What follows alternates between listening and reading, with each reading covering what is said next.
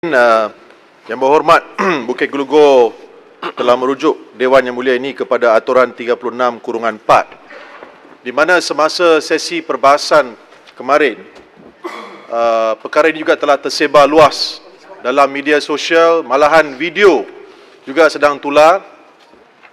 Ketika berbahas Yang Berhormat Tanjung Karang telah mengeluarkan kenyataan-kenyataan yang kurang sopan yang mengejikan dan perkara ini sedang di diberbual sedang di, di menjadi buah mulut secara luas. Di mana beliau telah datang ke dewan yang mulia ini dan mencarut dan mengeluarkan kenyataan-kenyataan yang kurang sopan. So saya ingin tanya petua sama ada kita ingin mengambil tindakan meminta beliau meminta maaf?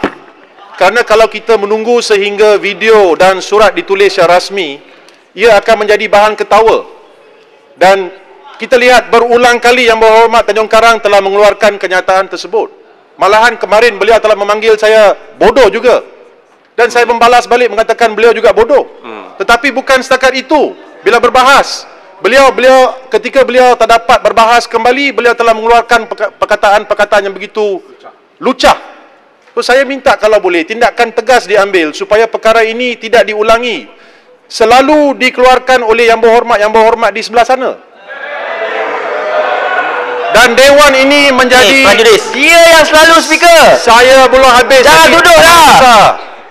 Ingat itu sahaja daripada mesyuarat. Duduk dulu, payah besar. Sabar. Bila ada aturan mesyuarat yang dibangkitkan, so, saya mendengar. Saya di sini, saya di sini memohon supaya perkara ini diambil tindakan. Untuk membelasah ya selalu. Kalau tidak, dewan ini akan menjadi bahan ketawa di mana orang-orang boleh masuk. Ni dewan ni gelak dekat jultung ya. Ha? Rawalin tak ada. Dan mereka akan keluarkan kenyataan-kenyataan begini. Berulang kali yang berhormat Tanjung Karang kita lihat. Ya, adakah yang berhormat Tanjung Karang menyebut perkataan lucah itu ataupun tidak? Ya, terima kasih. Ini adalah betul, selutong ikut peraturan. Saya tengah cakap jangan bangun. Kalau bangun akan gaduh lagi kena maki lagi nanti. Duduk benar diam. Jangan kacau saya cakap. Okey, semua duduk dan diam. Ha. Ya, saya, ya. dengar penjelasan. Ya, saya, saya, ya. saya kena bagi amaran dulu. Saya ya. kena bagi amaran ya. dulu kepada jelutong ni supaya ya, silakan, dia silakan, silakan. ikut peraturan. Baik. Aman. Saya pertama saya nak tanya. Ya. Dalam peraturan 36 4 dia bangkit. Adakah apabila seseorang mula perkataan apa kata apa jugalah peraturan ini mesti dia bangkit on the spot ataupun boleh dibawa kemudian hari. Ini pertama yang saya know. Usul ni bila katalah saya tengah berbahas.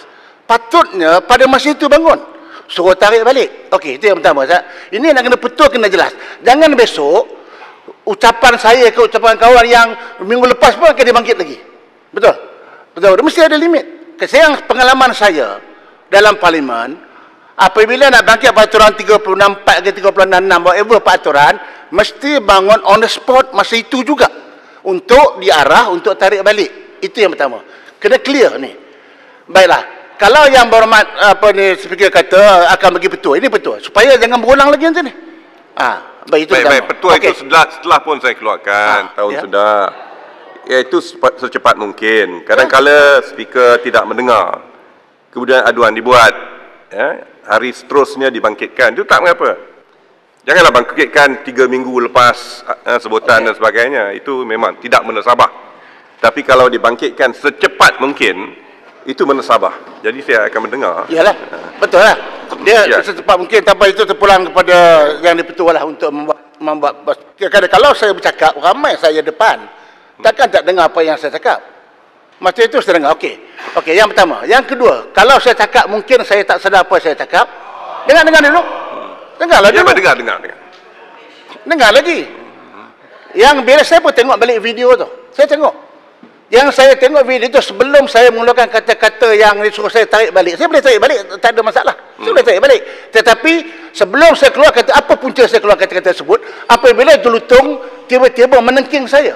Dengan kata stupid, stupid. Pada masa itu saya tengah bercakap ni. Terus bangun kata saya stupid. Jadi saya pun tak sedar apa yang saya cakap. Sebab kerana lah, saya nak cakap kau hajar nanti lagi ke kecoh lagi. Begini ke cara beda. Saya tengok dewan kita ni tercemar ialah kerana jelutung. Ya. Oh, Semua bila jadi jelutung punya pasal. Tak fikir kami sebelah sini baling kena halau. Bayar jaras ya, dulu. baling ha. kena halau, pasir pasir pasir salak kena kena gantung, kubang keriam kena gantung, siapa lagi kena gantung? Semua kami saya pun kena gantung.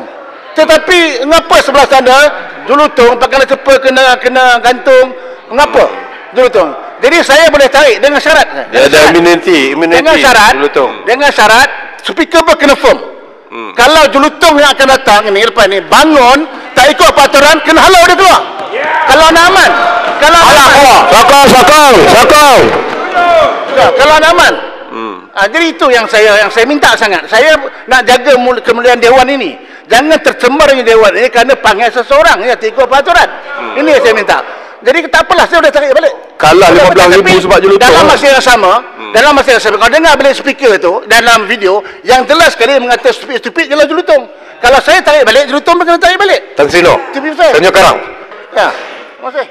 Baik itu suatu pendapat yang saya agak baik juga. Dan atas uh, landasan yang sama siapa saja yang menimbulkan rio rendah di dewan ini dan menggunakan perkataan yang kurang sopan harus diambil tindakan yang tegas. Tak kira dari pihak mana. Kalau ini dipersetujui mungkin kita akan ada dewan yang tentram. Tujuh. Tapi semua mesti ikut peraturan